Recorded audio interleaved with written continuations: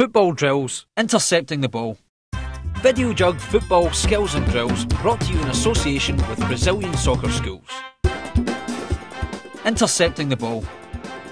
As a defender, the ability to read the game and predict where the ball is going to go is as important as being a tough tackler.